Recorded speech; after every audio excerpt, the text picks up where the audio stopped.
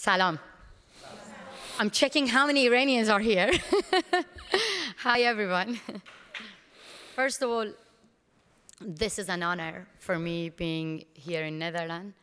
Although I was told by the FBI not to go, they said that Netherlands is not safe for you. Um, and I said, um, wait a minute, you telling me to stay in isolated and be isolated, stay at home just because you couldn't kick all the terrorists out from Europe? I'm not gonna stay home. And I refused to be scared. I um, resisted, and that's why I said, um, these days are the second anniversary of Iran protests. And my people in Iran, they go to the street, they know that they may face bullets, torture, prison. They might face executions for the crime of protesting. So two years ago, 1,500 people got killed in Iran. And still their mothers are brave enough to challenge the Islamic Republic. In the West, we have to echo their voices, and that is why I don't want to stay in, in America. Especially, I want to come in Europe and talk about women's rights and human rights because the European government have a good relation with the Islamic Republic. So I invited to be here to talk about my story. And um, I'm going to be honest with you. Someone just asked me that when you were a kid uh, in a small village, have you ever had a dream to come in Amsterdam and give a talk? I said, when I was a kid in village, I never knew that Amsterdam existed. my world was much smaller.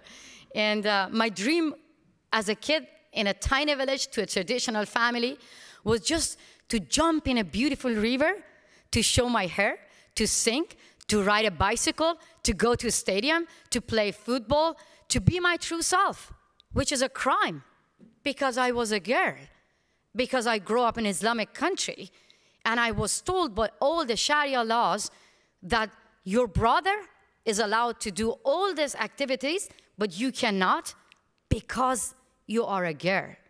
So that is why I started my own revolution from my family's kitchen to be my true self. The kitchen was designed for women. Like the sink was really low because my mother was tinier than my father. So, and I said to myself that we both, my mother and me, work the same as my brother and my father in farm.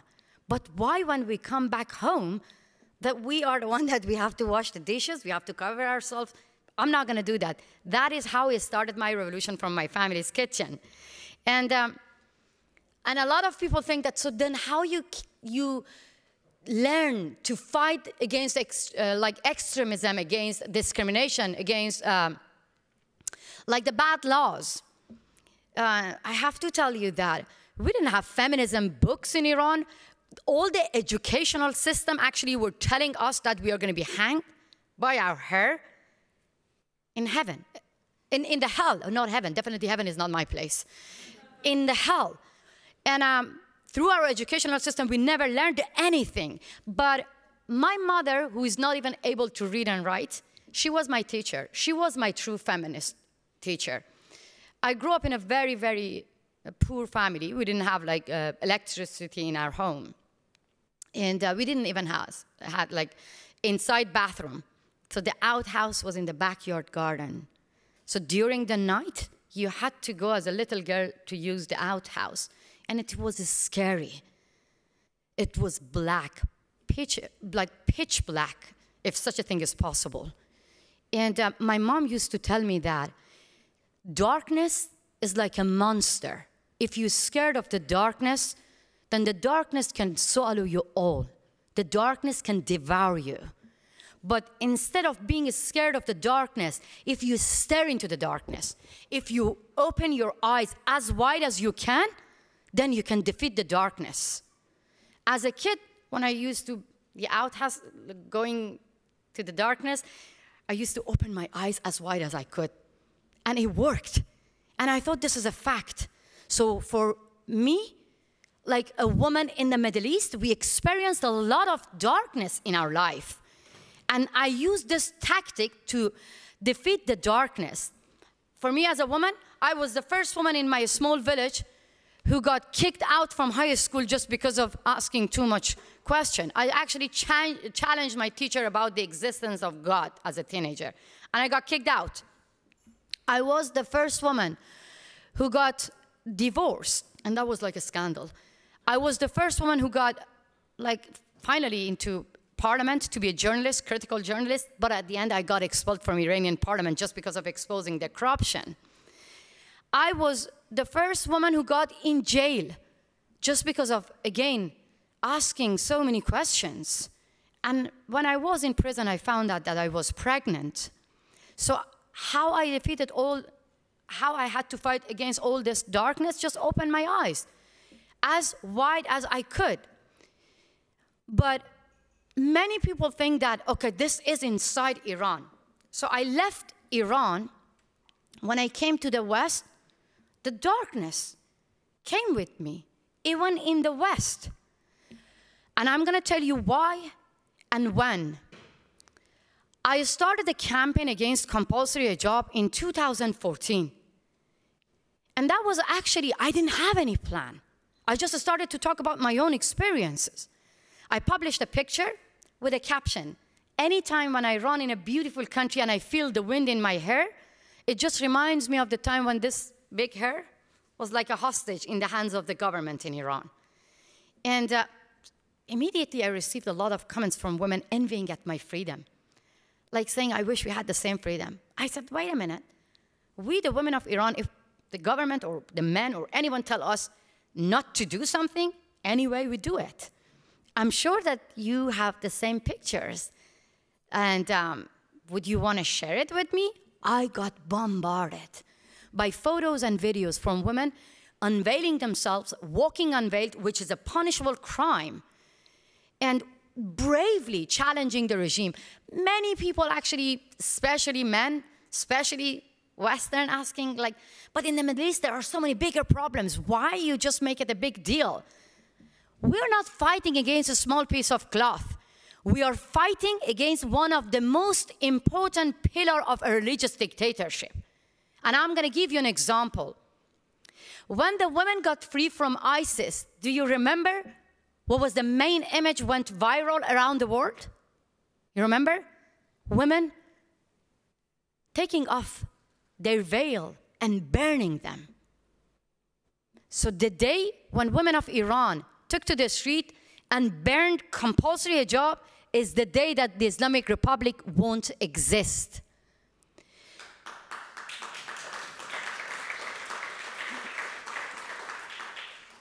because compulsory hijab is a tool in the hand of Taliban, ISIS, and the Islamic Republic to control the whole society. And I want to give you another example. When Taliban took over Afghanistan, overnight. I was receiving videos from women from Afghanistan, beautiful and brave. And I said to one of the women that I'm going to blur your face and publish the video.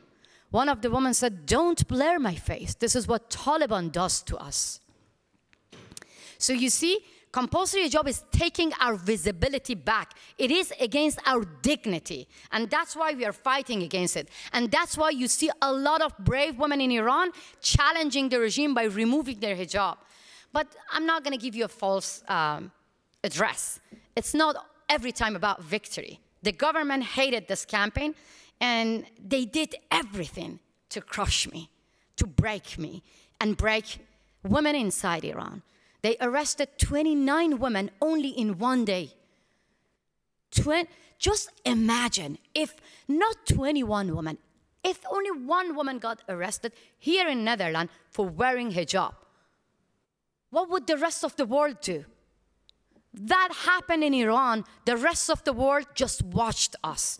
29 women got arrested, and the rest of the world sent their representative, the member of the parliament in Iran, obeying the same discriminatory laws.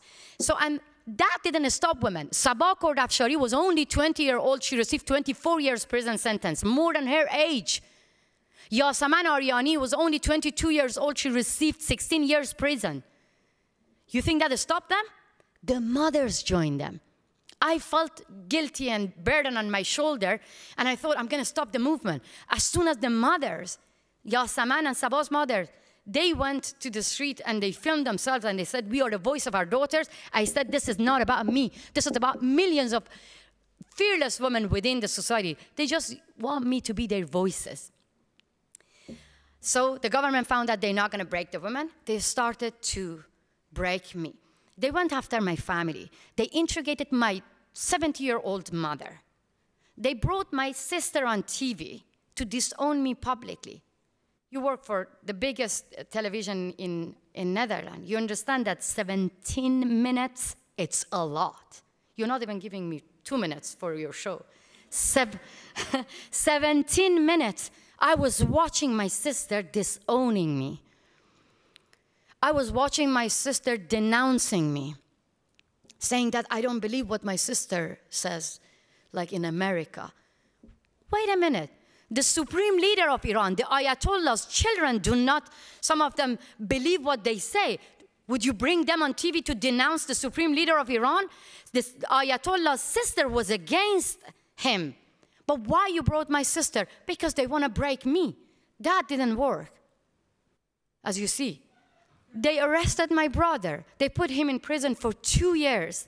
The day when they put my brother in prison, the day when they put the Women of White Wednesdays campaign in prison was like the end of my life. I was like, I wish I was in prison, not them, because you feel the, the burden on your shoulder. And I was broken. But I told myself that, why should I feel guilty? The one who execute people should feel guilty. The one who lashes women for removing hijab or saying that uh, we don't want to practice Islam, they should feel guilty.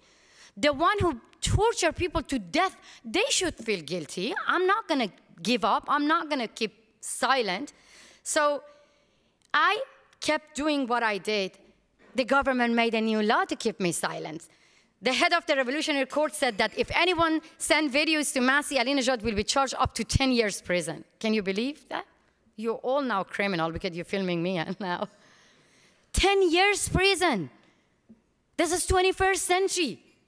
And I was bombarded by videos, this time from mothers, holding the pictures of their beloved one who got killed in Iran protests, sending videos to me and saying that we rather go to prison. We don't want to be silent. We want to get rid of the Islamic Republic, and you have to be our voice. And these are my heroes. And these are the Rosa Parks of Iran, the women of suffragists in Iran. They say no to Islamic Republic in the face of the mullahs and clerics in Iran.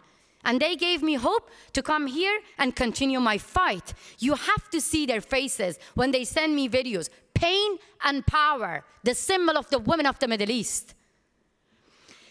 And I want to tell you the last story that why we are so powerful, and I strongly believe that we have to give the voice to ordinary women. My personal story. I was in London.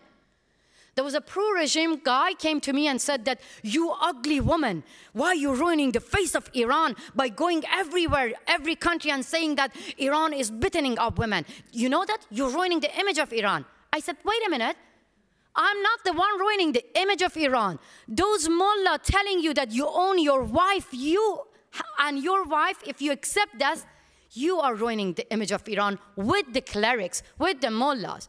Those actually who are telling that in 21st century women are not allowed to go to a stadium and a woman should set herself on fire and kill herself, you have to get those mullahs. They are ruining the image of Iran, not me. He was not convinced. You are convinced, no? But he was not convinced. That didn't bother me.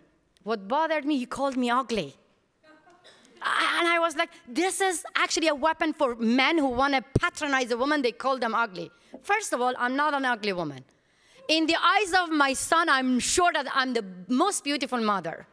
In the eyes of my mother, I'm the most beautiful daughter. And in the eyes of my husband, I think I'm the most beautiful woman. And I went after him with this argument. I believed myself. I used my camera and I ran after him. I said, Repeat what you said in front of my camera. Just repeat it. Guess what? He couldn't. Why? because I was filming him and exposing him, exposing his violence against me. So I won the battle. And I asked the women of Iran, do the same. If someone comes to you and harass you or even want to arrest you, just film them.